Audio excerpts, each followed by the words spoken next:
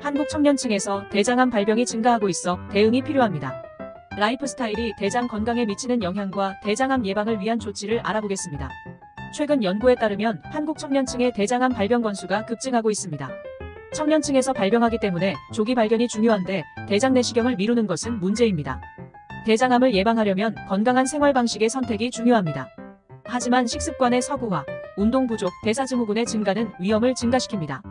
뱃살 관리도 필요합니다. 20대부터 40대 미만의 남성 중 복부 비만이 있는 경우에 대장암 발병 위험이 높습니다. 이 연령대에서도 건강한 생활 방식이 필요합니다.